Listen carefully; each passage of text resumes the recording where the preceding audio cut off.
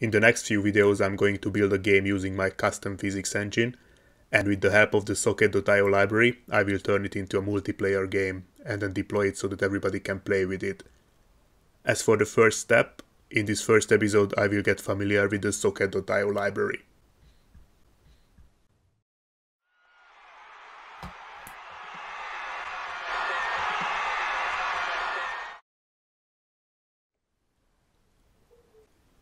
Before setting up a local server, I'm going to start with an overview of the project's structure. These here are the clients, each of which will be connected to the server through the browser.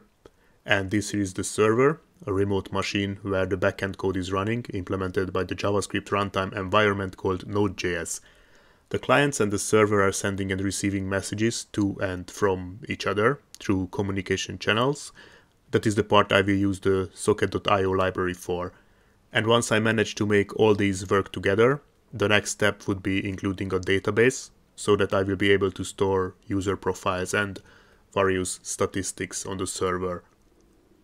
To get started, I will need to get Node.js. I can download it from the nodejs.org. I will need the 64-bit Windows version and once it's downloaded, I can simply install it then I've created an empty folder and opened it in VS Code.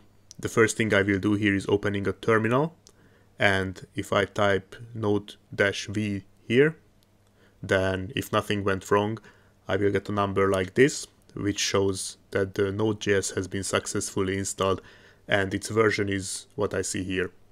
I can also type npm-v and I should get a similar result. npm stands for Node Package Manager it comes with Node.js. This will make installing Node modules very simple.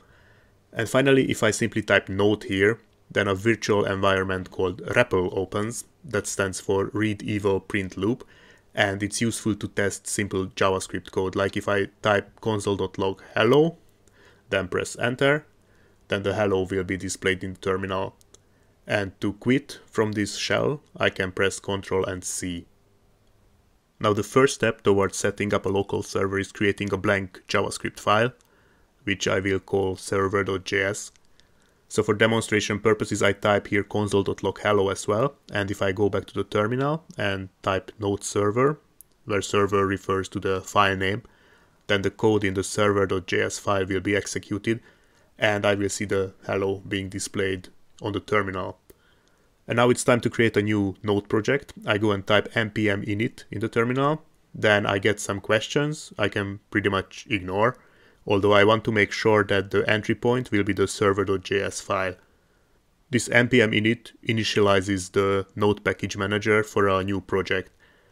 I can see that once it's done, a file called package.json has been created in the folder, and I can open it with the VS Code this file is supposed to contain the module dependencies, but since I don't have any modules yet, there are no dependencies. So let's start to install the modules I will need.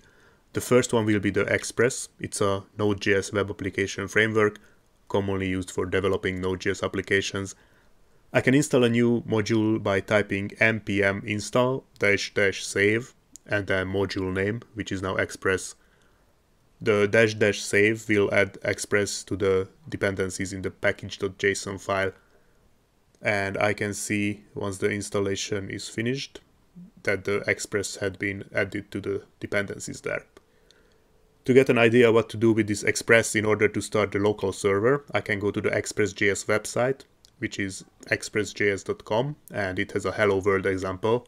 First I include the express module to Node.js by using the require function, then I assign an app variable to the express function and set the value of the port to 3000. I will basically just copy these lines and here it says that this app starts a server and listens on port 3000 for connections. The app responds with hello world for requests to the root URL.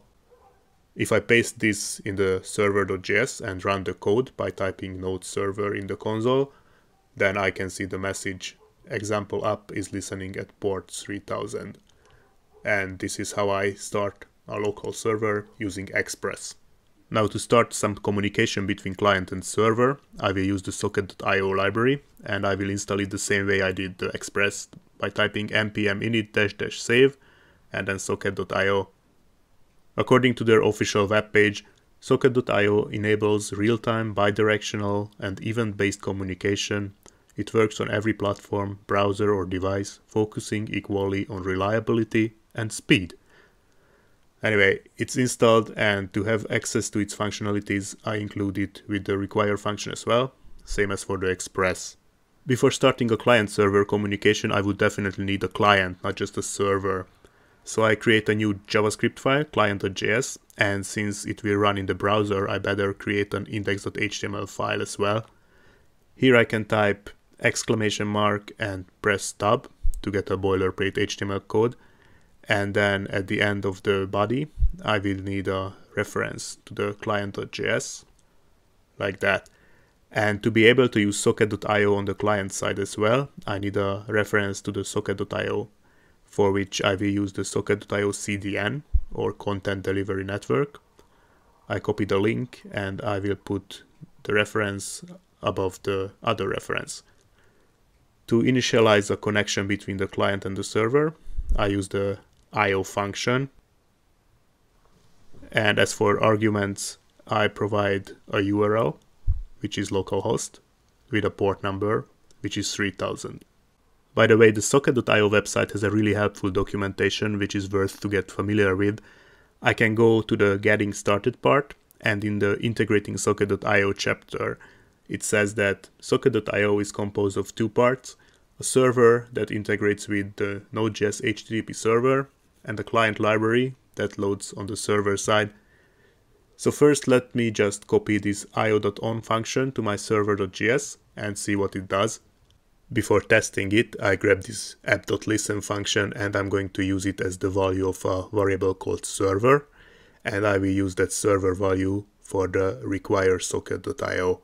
I restart the server, then start the client with the open live server option and then once the browser opens the code in the client.js file executes and if I go back to the terminal I can see that a user connected. To understand this code I just copied a little better. Here are some basic infos about transferring data between clients and the server. There are basically two main functions in socket.io, emit, which is used to send data, and on, to receive it. Both of these functions have an event name as their first argument that can be anything except for a few reserved ones, for example the connection that I just used. And the second argument is optional. It can be a data I want to send to the other end of the connection, usually as an object. If the client or the server receives a data after an event it was listening to is fired, it can take that data in a callback function. The client is only connected to the server, so it always emits the data to the server, but the server is connected with every client, and so it has several options for emitting. Three quite common ones are socket.emit, which sends the data only to the sender client, the socket.broadcast.emit, that sends data to all the clients except for the sender to which the socket belongs to, and io.on sends data to every single client. First let's make the server say hello only to the client that just connected and no one else. I need to use the socket.emit on the server side. I call the event server to client and the data I emit is a string saying hello client. And the client will be listening to this event and once it's fired, which will happen right after the client is connected to the server, it will run a callback function which will alert the data received from the server. I'm using an arrow function here, and by the way, I can call that variable anything, it doesn't have to be data. To test it, I go and restart the server in the terminal, and then I refresh the browser, and after a few seconds, first I can see the user connected message in the terminal, and a little bit later the message from the server appears in the browser. And if I want the data transfer in the opposite direction, then I use the socket.emit function on the client side. The event's name will be client to server. The message will be hello server. and the server will be listening to that event after the connection has been established. So again, I restart the server, refresh the browser, and now once the server notices that a client is connected, it displays a message on the terminal, sends hello to the client, and the client alerts it in the browser. And the client sends hello to the server too, which will be displayed in the terminal. So these were the messages sent from server to client and from client to server. Now, what if I want to send data from one client to another? Since the clients are not directly connected to each other, that will happen through the server. And to demonstrate that, I'm going to go to the index.html file and create a button element there with the ID of hello button. And what I want is that whenever I press this button on the client side, all the other connected clients will receive a hello message. In the client.js, I grab the button by the ID and create an event listener saying that whenever the button is clicked, the client emits a message to the server with the event called client to client. The server will listen to this event and once it's been fired, it will immediately broadcast it to every connected client except for the one the message arrived from. So I use socket.broadcast.emit and use server to client for event name again. I've used that once already, but since the client will handle this the same way, namely alerting it in the browser, I can use the event name once again. Now if I open several windows and I wait until all the clients are connected, which usually takes a little while, then if I press the button on one of the clients, then the hello will be alerted on the other clients. And these three kind of data transfers that I just implemented is what the game I'm going to build will be based on. Just instead of alerting messages, I will use the physics engine I built last time to be able to interact with other players in a probably more enjoyable way.